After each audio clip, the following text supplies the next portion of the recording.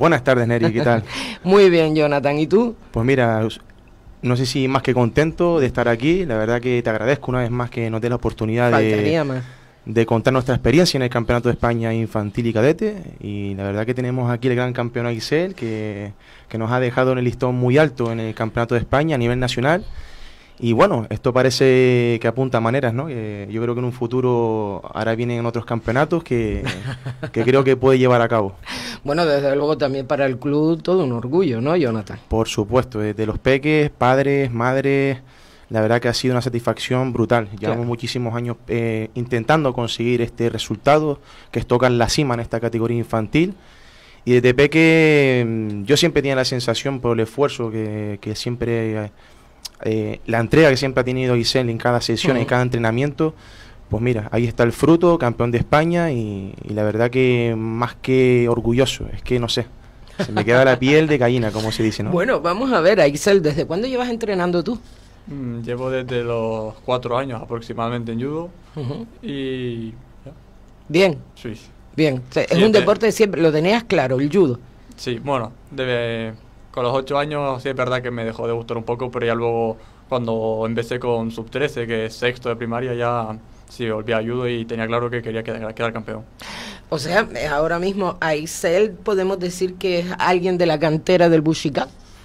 Sí, bueno, él comenzó desde pequeño, como bien dice, de los 4 o 5 años, creo que fueron 5 años, en el Colegio Alcalde Marcial Franco, eh, como actividad extraescolar.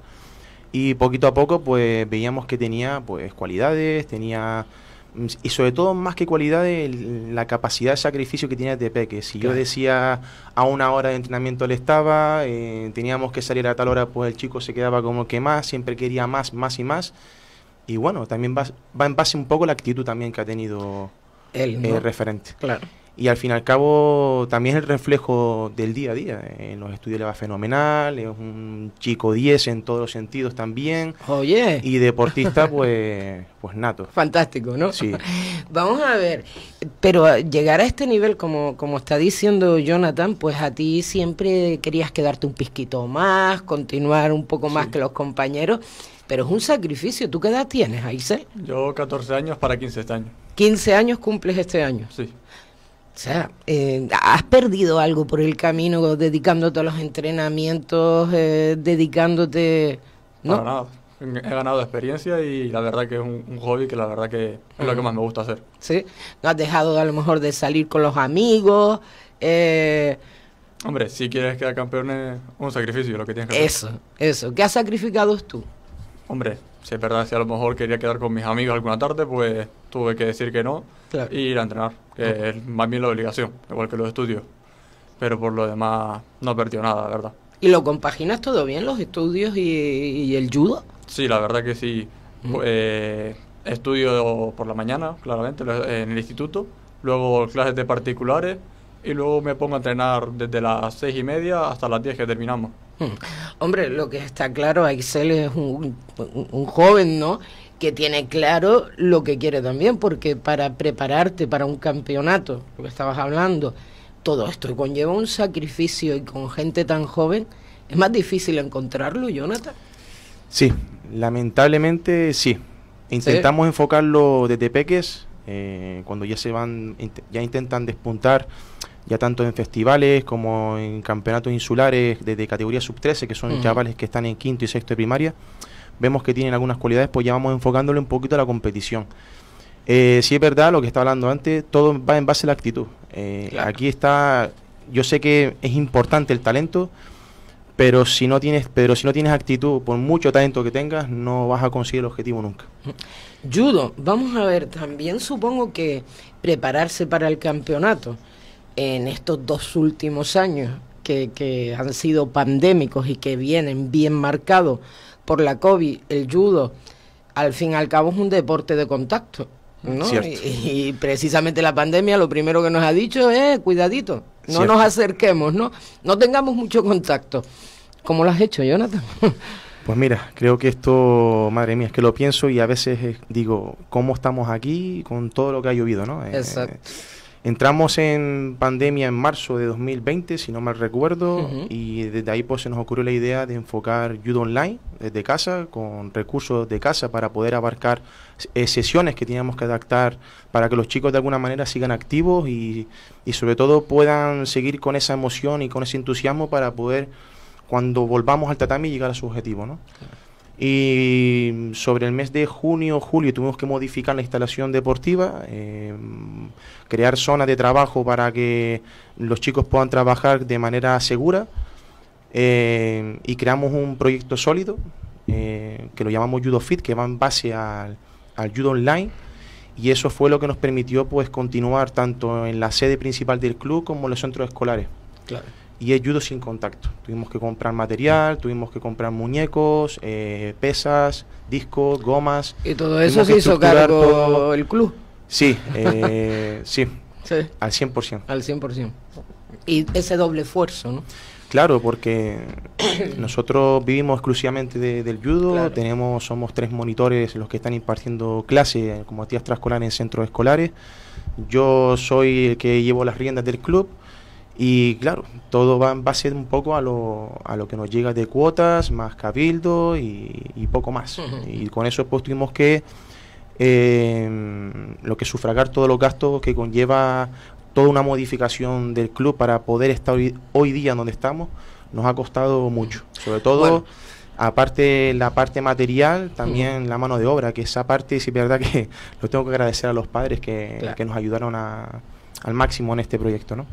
Esto te voy a dar una buena noticia, o espero, a ti y a muchos clubes deportivos del municipio de San Bartolomé de Tirajana. Recientemente eh, entrevistamos al concejal de deportes del municipio, primer teniente alcalde, y nos decía que esas subvenciones tan ansiadas también por, eh, por los distintos clubes deportivos del municipio cada vez están más cerca. Nos dijo que antes de febrero ya estarían esas subvenciones, o sea que... Pues Neri, te voy a dar esa buena noticia, ¿vale? Es brutal porque con ese dinero se pueden hacer muchas cosas para los chicos, hay que reinventir en ellos para poder tener más salidas. Ahora tengo chicos que, como en este caso dice, que es campeón de España infantil, ahora tendrá los campeonatos autonómicos, si todo sale bien, se podrá hacer los campeonatos insulares y autonómicos aquí en, en Canarias.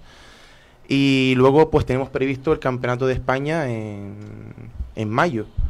Y se unen mucho, ¿no? Porque... Sí, es que se ha solapado la, lo que son las temporadas, nunca ha habido un fin, por, con esto del COVID se han pospuesto campeonatos de España. el anterior campeonato de España que era que hicimos hace un mes y poco, tenía que haberse hecho en mayo de 2021. Pero ah, con esto de la pandemia se ha pospuesto hasta diciembre. Entonces nunca hemos tenido un parón de temporada. ¿eh? Se han solapado una con otras. Eh, él participó como categoría infantil en más de 66 kilos. Su última competición fue en la Copa de España Granadilla de Abono en Tenerife en diciembre. a casi mediados de diciembre. Exacto. y esa ya ahí ya finaliza su, su trayectoria deportiva como categoría infantil. Automáticamente pasa a ser cadete. Y ahora pues nada, tenemos bastantes salidas antes de llegar a ese campeonato de España, como puede ser Alicante, como puede ser Castilla y León.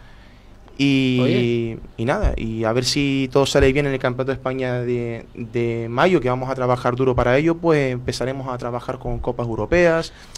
Y con ese dinero que estamos hablando del ayuntamiento, decir. Eh, pues nos vendría genial para poder sufragar todo ese tipo de gastos e intentar llegar lo máximo posible a los chicos, ya no solamente a él, sino a la cantera.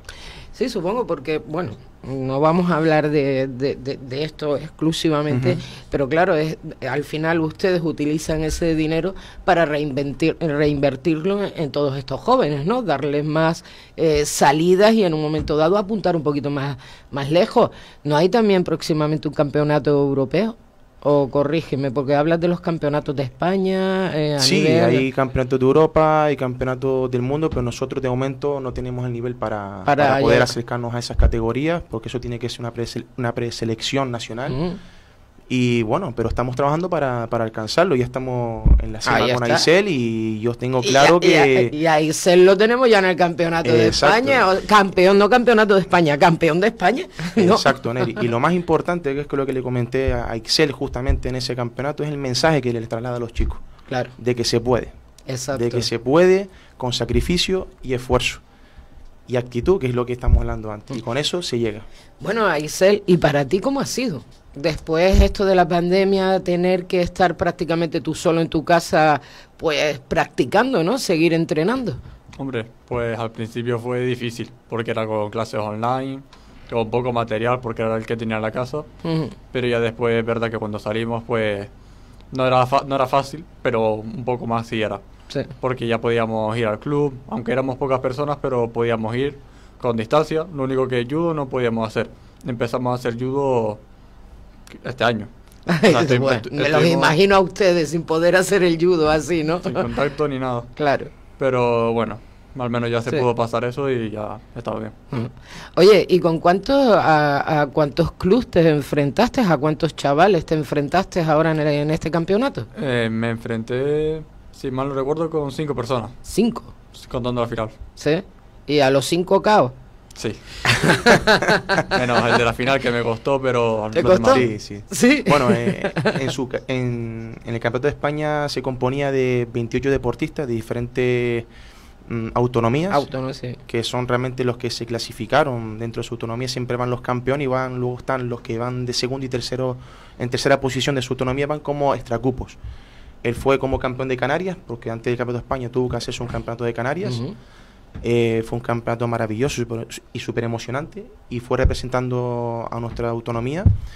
Y, y, eran 28 deportistas, 5 combates, que es lo que estaba comentando él, y la verdad que sobresaliente. La final sí es verdad que nos costó un poquito más con un judoka catalán, que un judoka zurdo, un poquito complicado su judo y demás, pero pudimos trabajarlo tácticamente y al final pues por puntos ganó y, y la medalla de oro yo respiré la medalla cuando la fue a recoger, porque cuando quedó campeón me quedé mm, no sé, una emoción súper extraña y ya cuando recogió el premio fue cuando yo dije, ostras, Aquí tenemos un campeón de España. Y... que ahí se le es campeón de España, ¿no? Exacto. Bueno, ¿y cómo consigues tú esas tácticas? Porque dice que casi le ganaste por las tácticas. Explícanos un poquito de esto. Sí, porque... ¿Cómo es? en judo, cuéntame. Sí. Eh, por ejemplo, si mi rival sé que me hace una técnica, pues intento ponerme del otro lado para que no me la haga. Intentar sacarle por chidos, que son faltas. Eh, intentar sacarle afuera o o, distanciarme un poco de él sin que me marque mi falta, porque el judo con lo de la falta, aunque intentes jugar táctico, a lo mejor te puede salir mal, pero no, en mi caso me salió bien y, y gané gracias. Aparte, esas tácticas que es como que algo que tienen guardadito ustedes eh, en el kimono para ver cómo engañan al rival o qué? Sí, se, se podría decir que sí. Sí. Eh, pero sí, no, no, sí. ¿no? Y que no te coja el contrario, ¿no? Bueno, y luego, ¿se puede decir alguna en antena o nos la tenemos que guardar? No vaya a ser que nos esté escuchando un contrario y... Uy, cuando yo me enfrente a ti ya sé lo que tú haces. Hombre, lo ideal es no decirlo. sí, ¿no? O sea, no decirlo. A ver, dime algo, hombre. Ahora, nadie nos oye. Pero de eh. estas que no vayan a hacer que te tumben a ti, ¿eh? Cuidado, a ver qué vas a decir. Hombre, lo, lo ideal es intentar atacar tú primero y que el otro no, te ataque y estaciarte de él lo más posible para que, por ejemplo, en mi, en mi caso, como soy alto, para que no se me metan debajo. Ah, amigo. Por ejemplo, Porque te pueden levantar, sí, algo así. Cogerle y distanciarme de él lo máximo posible en las piernas, pero ya está. Ya está. Y con eso intento ganarte ahí. Sí, él trabaja mucho esa parte, en, cuestión, la parte eh, táctica que estábamos hablando, pues intentar eh, por lo menos Mm, anticiparse antes que el otro, intentar bloquear sus agarres, intentar trabajar la línea, que quiere decir lo que está hablando él, en la parte del shido, que son las faltas. Si el oponente pisa fuera de la, de la zona delimitada, pues pueden cantarle shido a favor, es decir, el otro Al contrario. Y cositas así que hacen que, podamos llegar a una victoria cuando nuestro rival es complicado. Tenemos un rival que está Mm, que es igual que tú, tiene mismas condiciones, mismas técnicas, mismo estado físico, pues tenemos que buscar un poco la parte táctica, que es la parte más inteligente dentro del tatami. Y los entrenamientos así, ya teniendo un, un campeón como Excel, eh, ¿cambian o, tú sigues la misma metodología? Bueno, tú, yo no sé si... Bueno, eres tú el que está entrenando a Excel, ¿no? Estoy preguntando, pero sé que tienes más compañeros en el club, ¿no? Pero... Creo, creo que justamente eso que me estás comentando lo comenté el miércoles. Eh, sí, porque cuenta. Porque veo que hay los chicos dan más Es decir, eh, a lo mejor marcamos un tipo de trabajo, un tipo de carga en el entrenamiento, en la parte principal de nuestra sesión, y vemos que los chicos llegan al máximo. Antes siempre estaba mm. tirando de las orejas, oye, que no me están llegando, que nada más que me están llegando dos, tres personas, y ahora veo que el grupo está súper compacto y que llegan. Entonces eso me está gustando. Claro, porque es como tenemos ya también un referente, tenemos todo un campeón que hay que llegar a, ese nivel, digamos, ¿no? Bien, fantástico. Y realmente mm, tengo chavales que tienen muy buenas condiciones y el ver que su compañero llegó, pues ellos también quieren, quieren claro.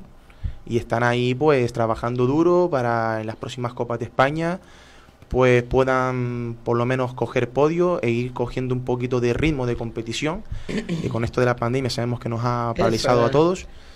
Y en el Campeonato de España de, de, estas categorías infantil y cadete de mayo, pues espero tener más resultados. Esa es la idea. Bueno, ahora recientemente, que el último fue este Campeonato Infantil y Cadete de Granadilla, ¿no? Sí. Eh, la Copa, perdón, la Copa Infantil y Cadete de Granadilla, también llevaste chicas.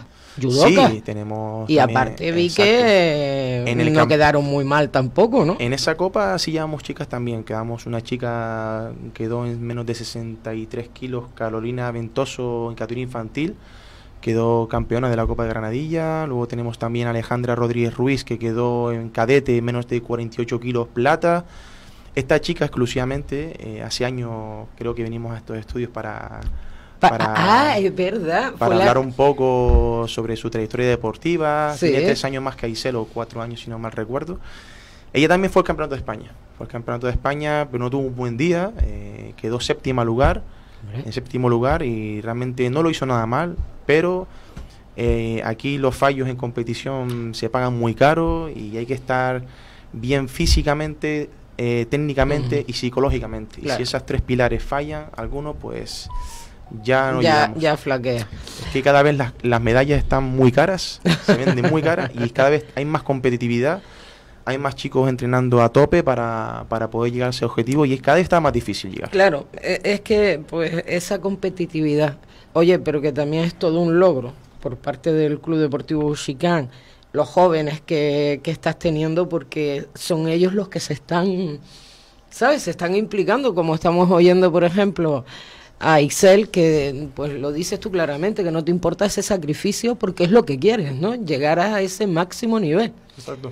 Bueno, déjame hablar un poquito con Aisel, que nos cuente un poquito, a ver, a ver, porque un campeón, después, después de recibir esta medalla, medalla de oro, campeonato de España, 15 años, que es la mejor edad del mundo, lo guapo que tú eres y lo grande que tú eres, a ver, cuéntame, ¿las chiquillas se han vuelto locas o no? No, no. No, no, va, no puede ser. Eh, no, quiero hablar, pero digo, bueno, ya con eso. A ver, venga, a ver, pues venga, cuéntame, ¿no hay una novia por ahí ni una nada? Sí, de. Ah, sí. De judo, de, de, Castilla y León. Uy, y encima de, le gusta el mismo deporte que a ti, ¿también practica judo la joven? Sí, de hecho, el año pasado, cuando yo iba primero de mi ranking eh, peso pesado, ella también iba del mismo, o sea, de peso pesado pero femenino.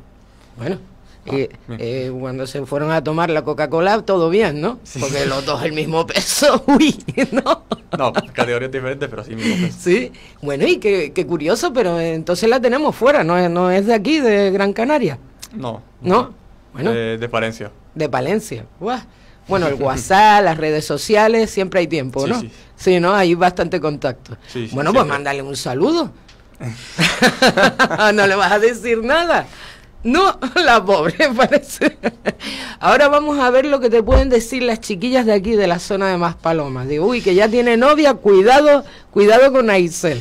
Bueno, Aisel, ¿y cómo, cómo, qué es lo que te propones ahora para este próximo campeonato que, que estaba hablando Jonathan ahora? Porque te, te, vas a presentar, ¿no? Sí, claro. la próxima copa que tenemos es la de Valladolid. y la verdad que últimamente no, no veo por qué no puedo quedar primero. O sea, yo creo que si me esfuerzo, yo sinceramente no veo, no veo por qué tengo que ponerme nervioso ni cometer errores. Yo creo que sí puedo hacerlo, puedo hacerlo como hice en las otras competiciones y ir bien. Ir bien. Bueno, en otras ocasiones o en otro estilo de deportes normalmente se vigila a los rivales, ¿no? A, través de vídeos o estas cosas. Bueno, no sé. Yo no, o a lo mejor me estoy formando una película. Pero, ah, pues sí, sí, entonces sí. ¿Y qué? ¿Ya tú tienes entonces vigilado a los que te vas a enfrentar? Hombre, tengo alguno que otro que ya sé quiénes son, pero tampoco es para comerme la cabeza. O sea, si sé que me va a tocar, me lucho con ellos y ya está, pero sí me gusta saber con quiénes lucho. Oye, lo veo muy decidido, ¿no? O sea... Actitud. Actitud, exacto, con una actitud muy positiva. Eso es fantástico. Seguridad y, actitud, eso es lo que destaca sobre él, ¿no? Sí. Oye, Jonathan, eh, continúas, supongo, bueno, y lo has, lo has dicho también a lo largo de la entrevista, continúas entonces con, eh, en los distintos centros educativos del municipio y aparte, ¿dónde está ahora mismo ubicado Ushicán? Sí, nosotros llevamos siete años en la ciudad deportiva, estamos justamente encima del campo 1 de la ciudad deportiva, en instalación de 200 metros cuadrados, está súper bien, eh, lo hemos tenido que estructurar y formar con el paso del tiempo.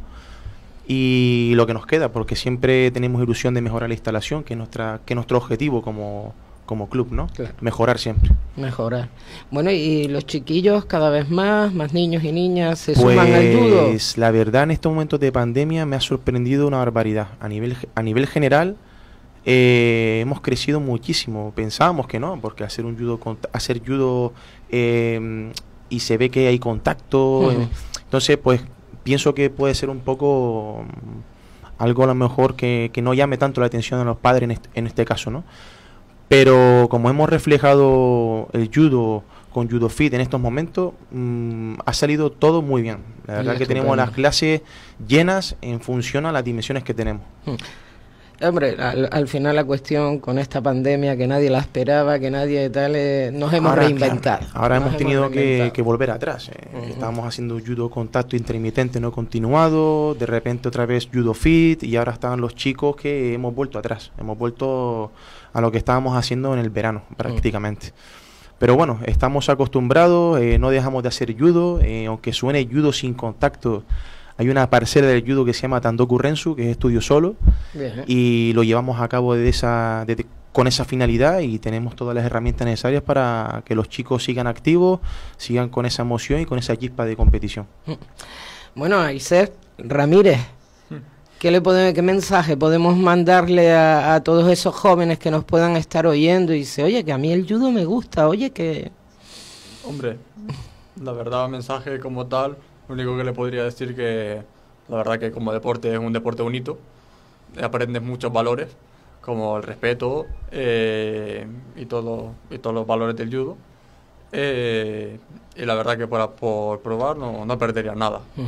Ya a lo mejor no es del gusto de todos, pero porque hay como dos tipos de judo. Pero por ejemplo el judo de competición yo creo que sí a los jóvenes les podría, a los jóvenes de mi edad, les podría gustar. Y hay edad, o sea, tú a jóvenes ahora mismo de, tu propia edad, da igual la edad que tengas, que se pueden apuntar a judo sí, sí, y practicar judo. Hay categorías para, para, cualquier tipo de edad y cualquier tipo de peso. Oye, también es verdad, han recalcado mucho los pesos. ¿Tiene que competir con un peso igual al de él?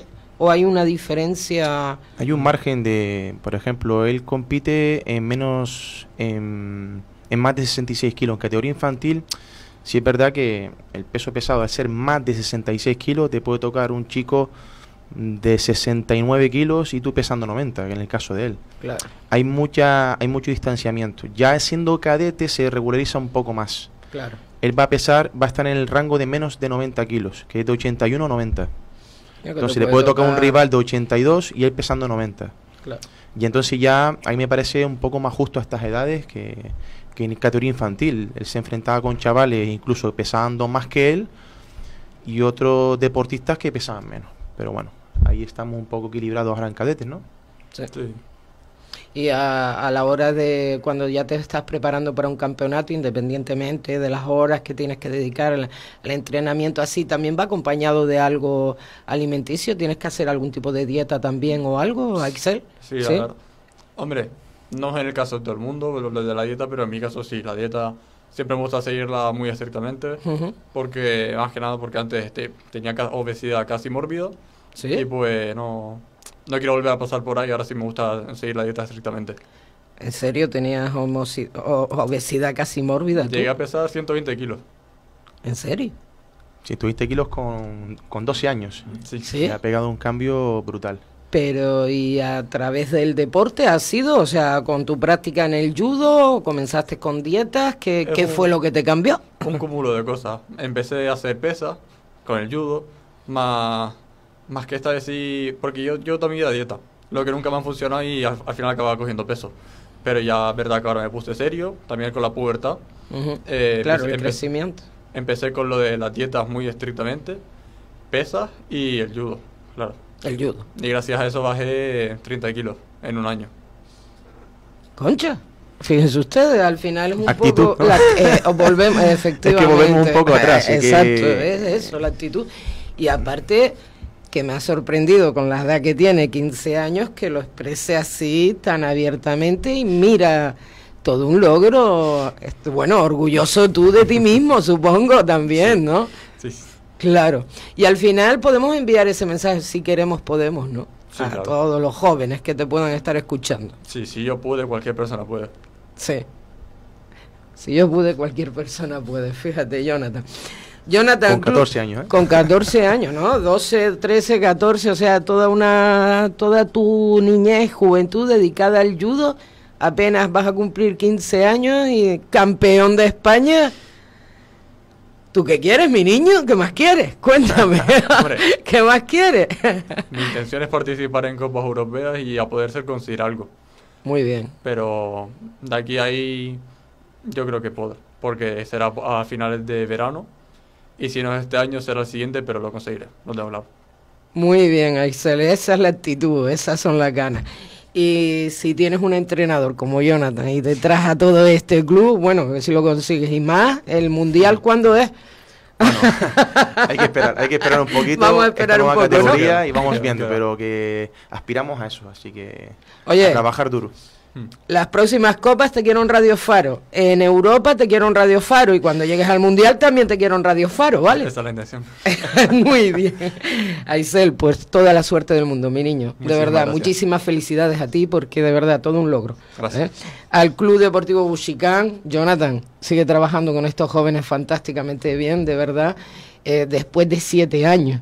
De verdad que llevamos ya un tiempito. Ahora me lo acabas de recordar aquellos comienzos. Exacto. Cómo tenían las instalaciones, etcétera. Ha cambiado mucho. Ha cambiado, mucho. Pero bueno, y mira, y tanto que ha cambiado que ya nos sentamos aquí en la emisora hablando con campeones que ofrece el Club Deportivo Bushicán. Muchísimas felicidades también a ti, Jonathan. Muchas gracias. A todo el equipo y esta es tu casa, ya lo sabes. Por supuesto, estaremos aquí para la próxima, sí o sí, ¿verdad que sí, Isabel? Bueno, exacto, y a través de las redes, ¿cómo te localizamos? Eh, nos pueden localizar por Busican Judo Club, en, por Facebook, por Instagram y ya está, no, no tenemos más. ¿Y te parecen pocas? Eh, realmente yo, creo, yo creo que más no, ahora, está con el, ahora están los chicos con el TikTok que... ah, bueno, pero, ya, pero ya, eso se encargan ellos, ¿no? Bueno, tú subes esos TikToks haciendo tus posturitas de judo, ¿no? Y esas cosas, ¿o no? Algunos otros sí. Algunos otros. ¿En serio? Ah, no me he enseñado ninguno. Eh, entrenador, no se le puede enseñar todo al entrenador, ¿no? Club Deportivo Bushicán, Jonathan Hernández y este gran campeón, Aisel Ramírez, campeón de judo de España, que vive aquí en San Bartolomé de Tirajana, que participa en un club deportivo aquí en San Bartolomé de Tirajana y encima de, también del municipio de San Bartolomé de Tirajana. Muchísima suerte a los dos. Saludos. Gracias, Neri.